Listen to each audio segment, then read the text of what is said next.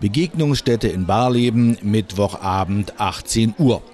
Die Veranstaltung beginnt mit der Verteilung von Werbematerial und da hat Kim Barkmann, die Schamanin, gut zu tun, denn das kopierte Faltblatt wird schon aus Neugier gerne genommen. 70 Gäste sitzen erwartungsvoll im Raum, um zu hören, wie Devise Fru als Schamanin mit Menschen arbeitet. Die Schamanin ist nicht groß oder spektakulär, aber die meisten der Zuhörerinnen hängen gebannt an ihren Lippen und folgen ihrem sanften Feminismus, ohne das eine oder andere weiter zu hinterfragen. Es ist von wesentlicher Bedeutung für jede der überwiegend weiblichen Besucherinnen, wie man von vornherein zu Schamanen und ihren Dienstleistungen steht. Ist man bereit, das zu glauben, dann ergeben die Ausführungen über Heilung mit Tiefenbesprechung einen Sinn. Steht man der ganzen Sache skeptisch gegenüber, dann ist es ein leichtes, die Aussagen als Worthülsen zu zerpflücken. Das fängt schon an, dass sich Kim Barkmann in ihrer Einführung über die Christianisierung in Deutschland um schlicht 700 Jahre vertut. Aber solche Kleinigkeiten tun im Kreis der Besucherinnen an ihrer Glaubwürdigkeit keinen Abbruch. Und die Referentin hat ein unerschütterliches Selbstbewusstsein. Ich bin eine unglaublich gute Lehrerin. Das ist mir in die Wiege gelegt. Ich habe schon gelehrt, als ich selbst noch ein Kind war. Und ich beherrsche alle wirklich guten Methoden. Ich habe mich immer weitergebildet. Da lag für mich eine große Faszination drin. Der Didaktik, Hermeneutik, die Lehre vom Verstehen. Wie vermittelt man es so, dass die Leute es hinterher auch können? Also lehren heißt ja nicht, ich stelle mich hin und sag was und dann wissen die das hinterher, sondern lehren heißt, ich unterstütze das Lernen.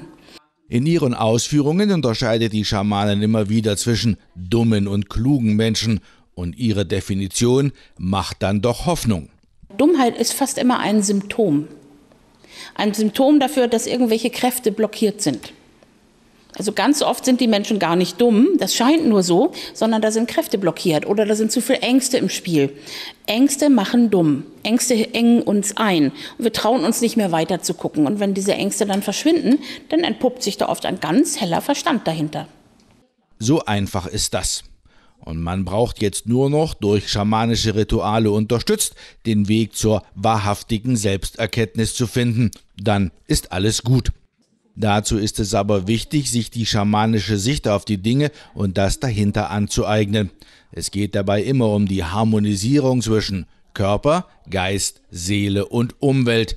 Und wer das in Vollendung erreichen möchte, macht eine Ausbildung in Altsalzwedel. Also unsere Akademie hat einen besonders guten Ruf und ähm, gilt eigentlich als der Geheimtipp für Leute, die sich entwickeln wollen. Und das ist auch der springende Punkt. Schamane werden kann man nicht wie in der Schule. So am grünen Tisch mit ein bisschen Papier, in die man sich reinpfeift, sich Informationen zufügt, so wird man kein Schamane. Wenn jemand viele Bücher über Schamanismus liest, wird er dadurch nicht zum Schamanen, sondern zu einem Schamanenkenner. Schamane wird man durch innere Entwicklung. Und unsere Ausbildung trägt dem ganz massiv Rechnung. Das ist für uns ein ganz wesentlicher Aspekt. Wir müssen uns entwickeln als Schamane. Meine Methoden sind nur so gut, wie ich es bin. Wenn ich irgendwo eine Grenze habe, über die ich nicht gehen will, und dann kommen Klienten, die an dieser Grenze Probleme haben, kann ich ihnen gar nicht helfen. Ich muss danach trachten, meine Grenzen weiter zu stecken und weiter und ähm, auch meine schamanische Kraft zu erweitern. Wir sind ein